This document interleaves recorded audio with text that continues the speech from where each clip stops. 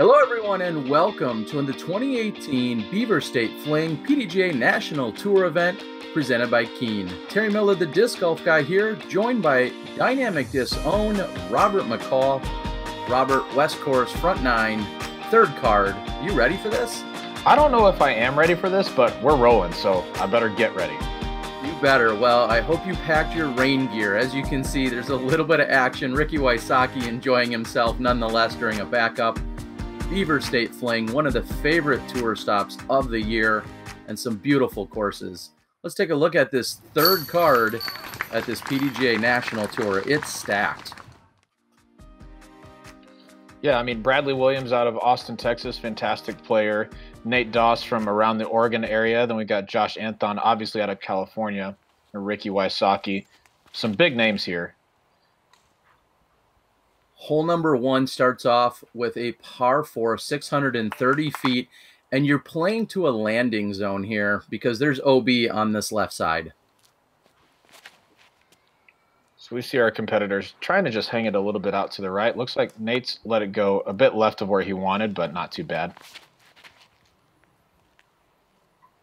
and a few of them finding that left side uh, post or tree, I should say. I was thinking the left side uprights.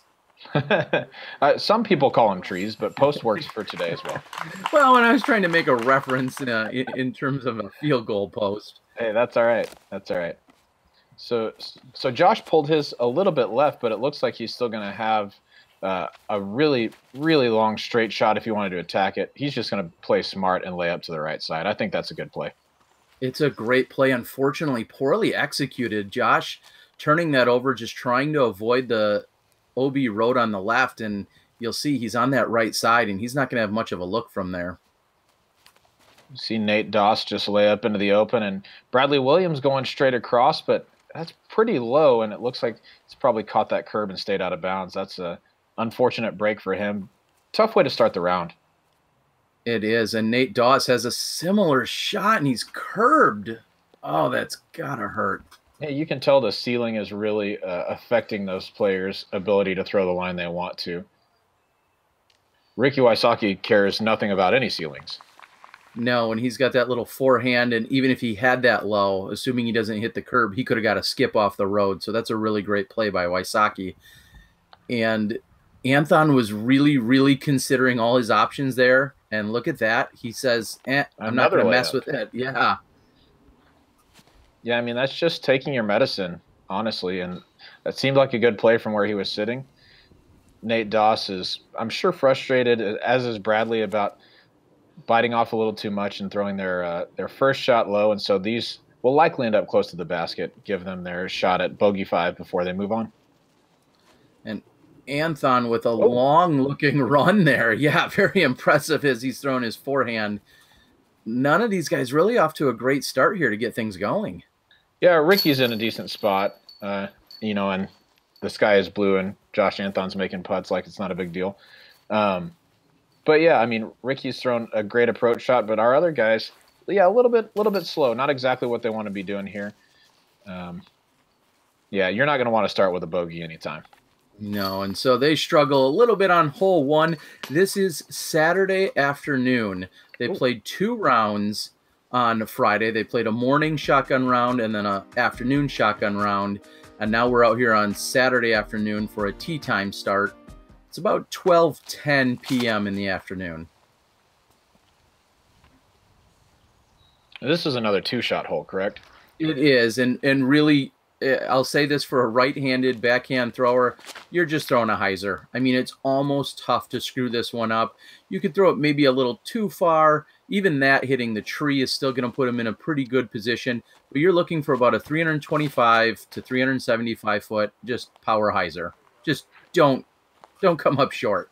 right. Yeah, that's what it looks like. And if you cut the corner uh, and get a little bit more distance to the left, that really just gives you a shorter second shot, but not so much of an advantage that it seems our competitors have to do that. It's just get to the landing zone.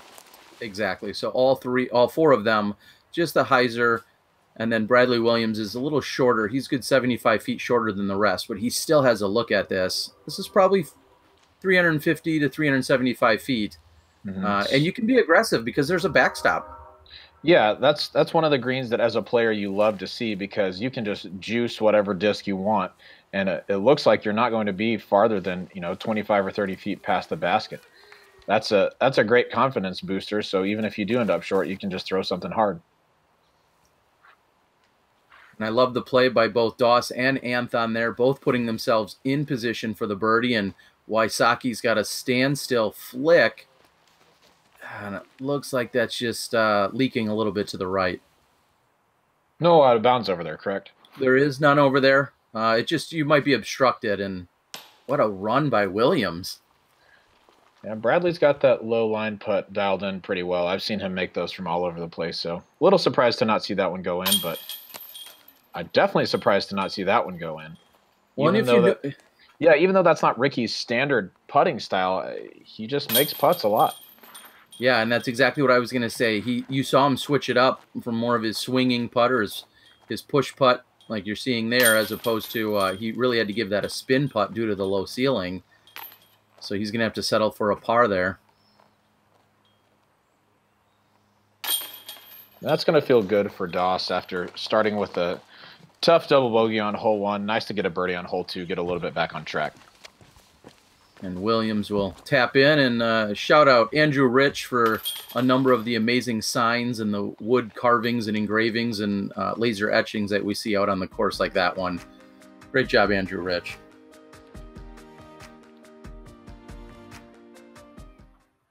So Anthon and Doss both had birdied on hole number two. And this is a really tight fairway. That's not the tree you want to hit. I haven't had the privilege of playing these courses before, but I'm just going to tell you right now, you don't want to hit that one. Uh, first available, as I think some would say. Yeah. Uh, really, the play here, you'll see a lot of these, whether it's a, a high forehand or it's a, a high turnover backhand, the play is up and high and trying to get it to fade back to that right hand side. And that looks a little tight by Ricky, and he catches an inside tree. Yeah, it seems like if you could get a forehand high enough, that would be nice. But the backhand anhyzer looks to be the shot that could get all the way there if you can just peer the gap.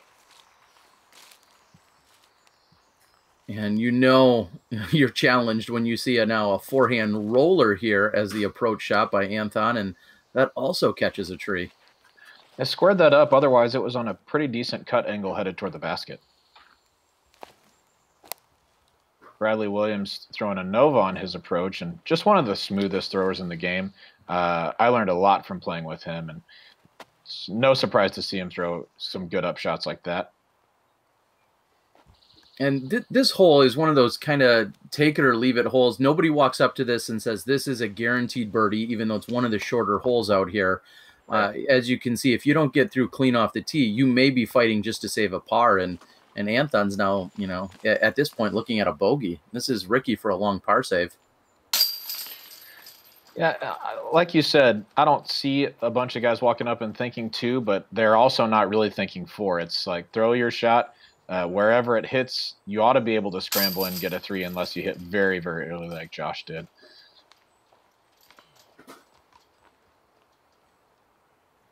Somewhat surprising to see no birdies. Uh, you usually you see everything from twos to fours on uh, hole number three, and this time it doesn't give up any birdies. Uh, they all are looking forward to the short and easy hole four that's on deck. A bit of a slow start for these guys, but lots of golf left. Um, plenty of birdie opportunities here.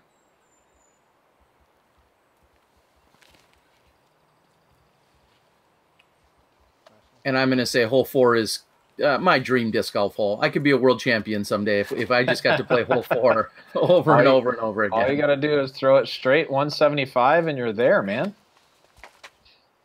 I like this hole. It's just a, a, in a place like this where it seems like every shot is demanding. Here's one where you can just throw a straight putter. I mean, you could if you get loose with it, you could hit one of those trees and be extremely frustrated. But almost every one of our top players. Oh goodness! Oh, oh wow! nice shot by Josh. Almost every one of our top players should be basically counting this as a two. And a little high oh. and tight for Wysocki there. I'm not talking about the haircut. I'm yeah, talking elevator about down. yeah, going down for Wysocki. Uh, this comes in as the third easiest hole on the course, uh, wow. playing 0.47 below par. And I think these guys are going to push that average even lower. I can't wait to see the other two easier holes. This I, I would assume this would be the easiest hole to par on the course, unless the other two are kind of uh, soft par fours, you might say. Uh, and that's exactly what I think we might see later on in the round. But you're seeing three guys that are in. Bradley Williams uh, inside 10 feet or so, and he's looking to complete the star frame and does just that. So that's on track. That That's what we expect from our third card in MPO. And now that's the hole that Paige Pierce aced a couple of years back. Is that correct? That went on SportsCenter? Um, I don't believe so.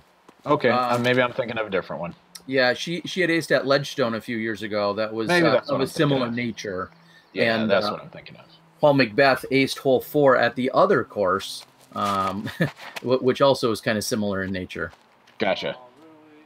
So this is a really interesting hole because you're up here, you're still at this elevated area that we just saw from the previous two holes, and you have a low ceiling, and these guys are really getting creative with the backhand rollers and there's really no great way to cover this one with just one camera.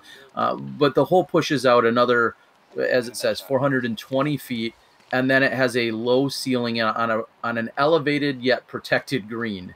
So okay. driving it all the way to the pin, unless you're within 30 feet, you're still going to have a low ceiling for a putt. It's it's a very difficult shot.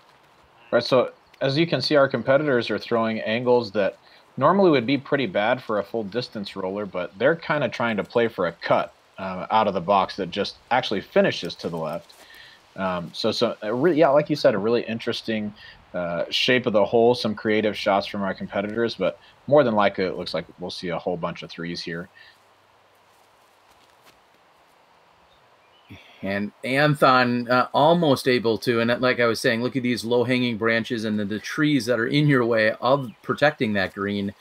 Uh, even when you do get close, and that's about as close as you'll see what you just saw from Williams, uh, you still have obstruction. yeah, that's a really tough and frustrating spot to land when you've thrown a clear and away better drive than everybody else and still can't convert just because it's a tough spot. And you said that we'll likely see a bunch of pars. Well, this hole averaged 3.04, so yeah. almost exactly to par. Uh, it's right in the middle of the course in terms of the most difficult. Uh, it's it, it's a pretty much a three. Uh, you could easily take a four, and if you if you somehow got a two, uh, you did some things very well. right, or got very lucky. It's probably one of those two. So you see everybody followed up, and now we're on hole six, and this you, you have to say it. This is famously known as the Philo hole. Yeah, the albatross. Exactly. To me. So here on hole six, you're just similar somewhat to hole two. You're just trying to throw a really big, long, powerful shot that has a little bit of a hyzer fade, not quite as much angle as hole two, but you just really want to throw something hard and put it out there and put it in play, put it in the middle of the fairway. And then once you're out there, it looks like your your second shot. You know, we saw Philo get really aggressive and throw a flex around the trees, but most everybody else is going to be if they're not playing for eagle, they're just going to play a little bit more over to the right side so that they have an open approach to the basket. Is that correct? Yeah, pretty much. I mean, as you'll see on these approach shots, there's you're you're throwing it slightly up and over a hillside, and then you really need it to bend from left to right and then fight back. So here's Nate he just didn't turn that over enough. Yeah, that's a little early. And he's going to be struggling from that left side of the fairway, uh, or, or really, I should say, the shul. Is it pretty much jail uh, in between the players in the basket if they don't get far enough to the right?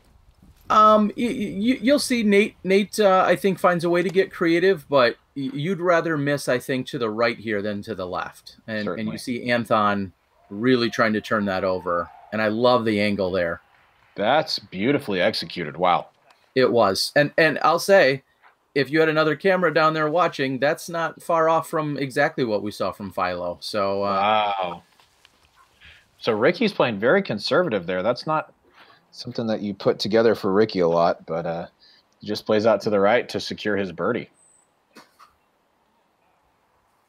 And you see Doss couldn't quite get all the way out. That was really the best mm-hmm. angle he had. He really uh, went back and forth with a few different options, and that was the best that he had. And and Ricky's able just to slide it up next to the pin from that right hand side. That might have been a bit of a misfire from Ricky on the second shot. Uh, that's probably a little farther right than he wanted to be.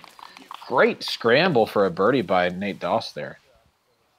And one of the things I love here, uh, and and take this to your home course and beyond, uh, rather than painting fresh circles, which are timely and expensive and and really challenging and not fun to do, uh, they just have a 10 meter string attached to the base of every single basket. So if you wanted to confirm, which we just saw from Anthon, uh, that's one way to know if you're inside or outside the circle. Yeah, I like that a lot. I think that's the way to go. Um, we don't see Anthon miss th- from that distance very often. we don't. That was that was pretty interesting. I saw you were at a loss for words there for a moment. I, I, I just thought, you know, once he stretched the string out and dropped it before he got to his disc, I was like, well, this is a guarantee. Hmm. Now, would That's it be right. a, a, mean trick to go out and, and cut all those strings like four feet short the night before? yeah, you know, I think that would be a mean trick. It really would be. I'm such people probably wouldn't appreciate it much. No, they would not. so I don't I don't recommend that to anyone. But do you have the scoring average on this on this hole? I, I do. again, um, that was hole number six, and that comes in as the single easiest hole on the course. That's what I was thinking. Yeah. Yeah. It you know some would say as a soft par five. Uh, it, it came in at 0.83 under par. So yeah. that that is ultimately the single easiest hole on the course relative to par. Right. Well, you saw Nate Doss throw a pretty poor second shot to his standards, and then still able to get a birdie with a with a decent scramble and a good putt. So not surprised to see that be the easiest hole relative to par on the course. And this hole is it's a great par four. You know the the spotters, the amazing volunteers and staff that are out there. They're all standing right in the OB Road area, and you're looking to do what you've seen from these three guys so far is just throw it out, let it finish, but it cannot skip hard or too far left because you're going to find yourself OB in the parking lot on the left side. I see.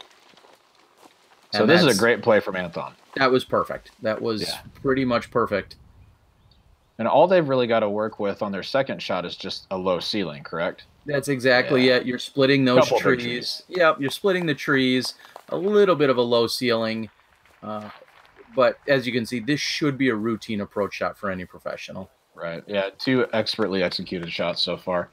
See if we can make it three for three here with Doss.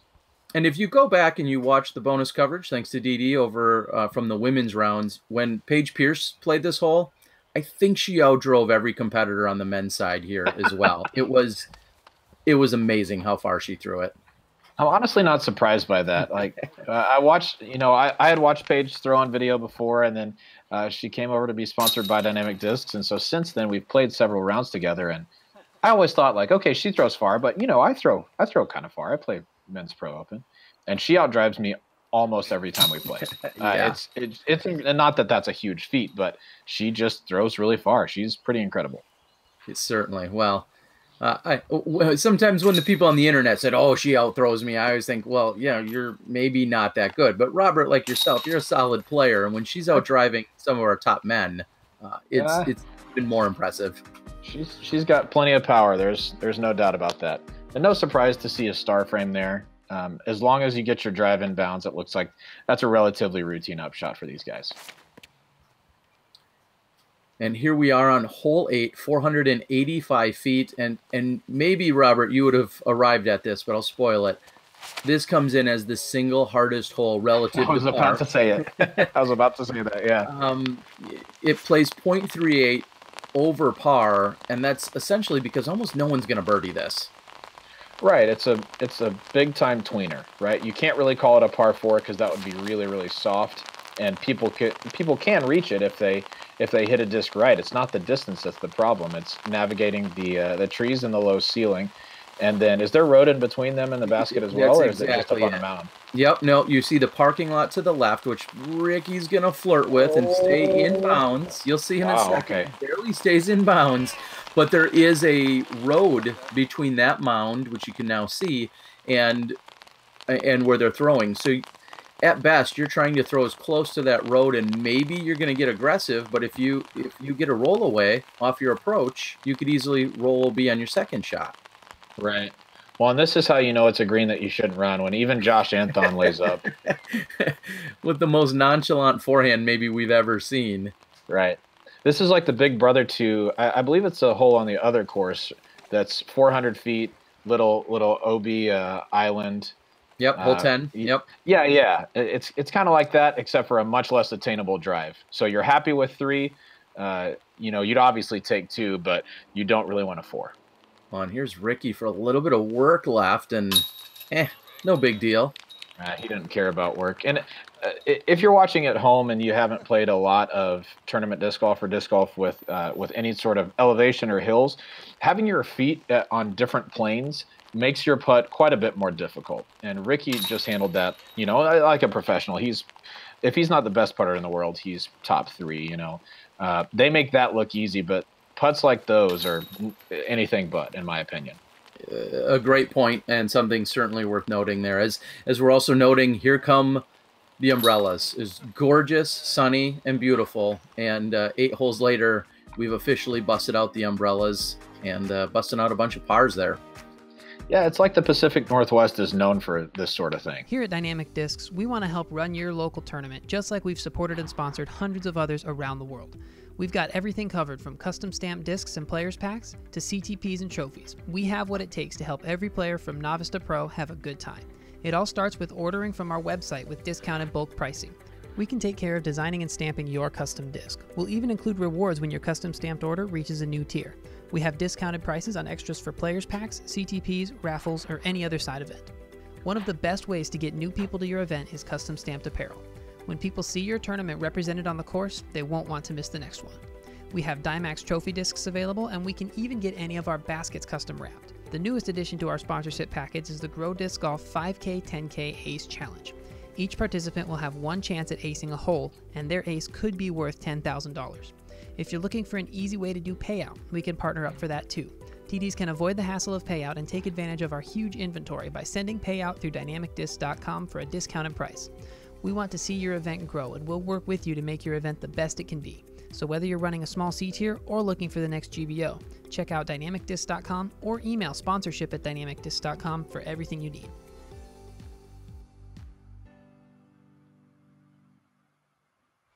And great explanation by Danny. And of course, all of this bonus footage brought to you in part by Dynamic Disc. Thank you so much, Robert and Bobby and Eric and Denise, who did the previous commentary.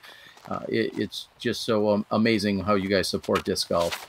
We watch awesome. Nate Doss. Thanks, yeah, no problem. And Nate, you know, clipping that tree as he was just trying to play the hyzer, and and Ricky will tell you that was junk. He's he wasn't. I was going to say that. that didn't look like that's where you want to go. This this one plays long and around to the right, right? You want to hang the left side and then uh, give yourself an upshot that's just I don't mean kind of straightforward and finishing to the right, correct? Yeah, and you saw Bradley Williams execute exactly where you want to be, where you want this uh, to finish, and Josh Anthon is going to put uh, a little mustard on that one, and I like yeah. that shot as well. He's again That's a smash. He's out driving the entire group right there. Well, yeah, you don't have uh, short throwers on this uh, on this card either. That's that's an impressive drive by Anthon there, and that has to be some moisture under the thumb oh man, that's uh, that's not what you want. Uh, I've been watching Nate Doss play for about 13 or 15 years now, and uh, that that may unfortunately may be the worst shot I've ever seen him throw, and and it is only ex, uh, explainable, like you said, by maybe some kind of moisture or or grip or or just some kind of weird, uh, yeah, something. Yeah, that was strange. Now, in the meantime, we saw Ricky really uh, not concerned at all about his bad lie and just throwing a forehand around the corner to a pretty good spot. Same with Bradley, and then this is Nate Doss to follow. That's a little bit more what you'd expect from Doss on a uh, routine forehand. Yeah, honestly, that that really did. I'm not even making excuses for anybody. That looked like some some moisture underneath his thumb or something like that. You don't see that sort of shot from Nate really ever. And after Anthon had the biggest drive in the group, he has a not so great approach, and before that even wow. gets to the basket, yeah, that's ugh. You see the wind pick up, but yet the rain is gone, and we just teed off a few minutes ago. Isn't that crazy? Yeah, it's quite quite the turn of events here for these guys, but uh, it seems like they're handling it in stride. That's a really good putt for Bradley. They're uh, from his perspective, left to right crosswind, when he's got a little bit of hyzer on that putter, uh, it's hard to control the height really how you want to. And he just made it look easy. So well done. Great birdie for Rick, especially after being out of position. It was as Ricky throws that one just a bit high, but it drags it in, and Doss will wake, walk away with the par. And we're going to move over to hole 10 uh, on the back half. Robert, thank you for joining me. Thank you to the PDGA, along with Dynamic Disc, for helping with the bonus coverage. It's been great having you. Josh, Josh is going to get things dialed in, I think, for that back nine. All right, everyone, we appreciate it. Again, this has been the Disc Golf Guys coverage of the 2018 Beaver State Fling round three chase card of the chase card. We'll see you in the back nine.